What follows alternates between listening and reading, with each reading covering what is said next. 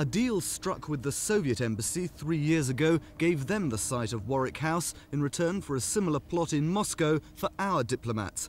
But since then, the whole scheme has become tied up in red tape. The owners, the Ministry of Defence, have yet to transfer their property to the Foreign Office, and negotiations with the Russians are bogged down. Kensington and Chelsea Council regret the delay and the loss of accommodation, but I'm not, I'm afraid, prepared to point the finger either at the Ministry of Defence or the Foreign Office. Uh, they are dealing with a sensitive matter.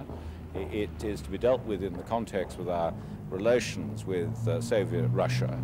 And uh, I think for any local council to make uh, to be very censorious about that is perhaps inappropriate. Organisations for the homeless, though, are less concerned about international intrigue.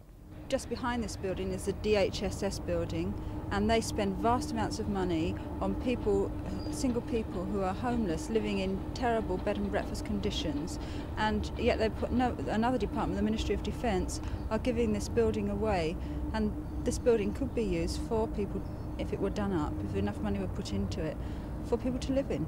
Stupid.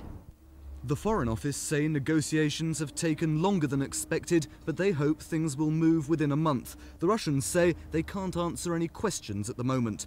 Paul Larsman for Thames News.